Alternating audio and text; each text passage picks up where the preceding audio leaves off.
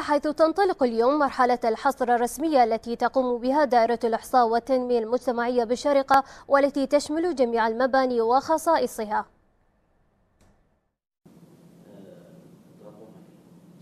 بهدف توفير بيانات إحصائية دقيقة موثوق فيها حول الأوضاع الاقتصادية والاجتماعية والسكانية في إمارة الشارقة انطلقت مرحلة الحصر الرسمية التي قامت بها دائرة الإحصاء والتنمية المجتمعية والتي تعتبر تحضيرا لمرحلة العد الفعلي للسكان في ديسمبر المقبل.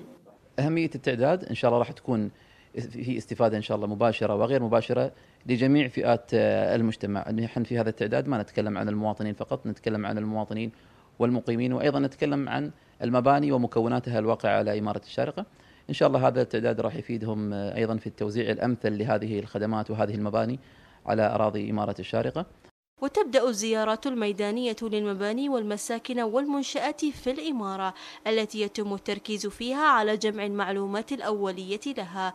كما ستواصل فرق التعداد يوميا عملية حصر لكافة المنشآت المتواجدة في إمارة الشارقة والمقرر اختتامها في العشرين من نوفمبر المقبل. تم تقسيم المناطق في إمارة الشارجة آه، لعدة أقسام بحيث أنه وصلنا لأصغر آه، توزيع اللي هو المربع. فكل المراقب الأخوان موجودين هنا راح يستلمون أجهزة آيباد. تم تحميل البيانات هذه مسبقة لهم. فكل شخص راح يعرف بالضبط أي منطقة راح آه، يبتدي فيه ومتى بيخلص تقريبا وطبيعة المنطقة السكانية.